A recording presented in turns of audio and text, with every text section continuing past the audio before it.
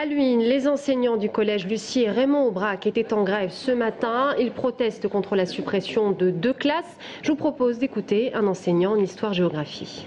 Nous sommes dans l'action de protestation contre une décision qui nous paraît inique, injuste, stupide et absurde. On nous a laissé entendre qu'il y avait donc des arrivées prévues donc sur Tours, et donc il fallait renforcer les effectifs des collégiens sur Tours, et donc pour renforcer sur Tours Centre, on déshabille la banlieue.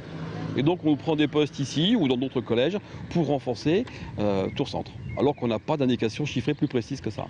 Demain il y a rendez-vous à l'IA, je crois, en fin d'après-midi. On va voir ce qu'il en ressort. En fonction de ce qu'on nous annoncera, on aura une action peut-être plus virulente.